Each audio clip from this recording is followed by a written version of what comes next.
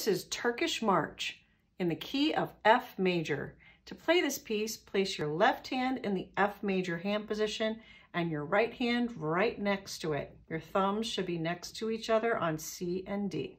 Don't forget about the B flats in this piece. Here we go.